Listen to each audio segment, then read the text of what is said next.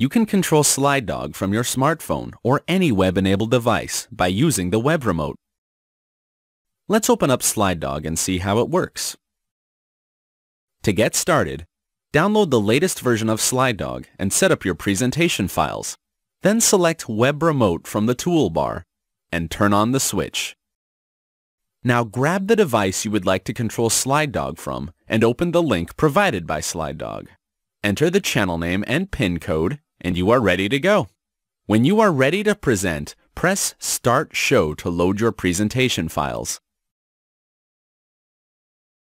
The power of SlideDog is now in the palm of your hand.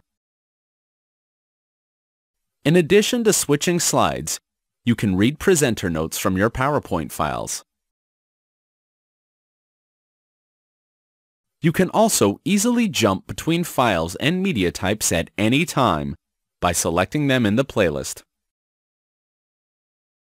That's it. We really hope you will enjoy this feature as much as we do. Happy presenting!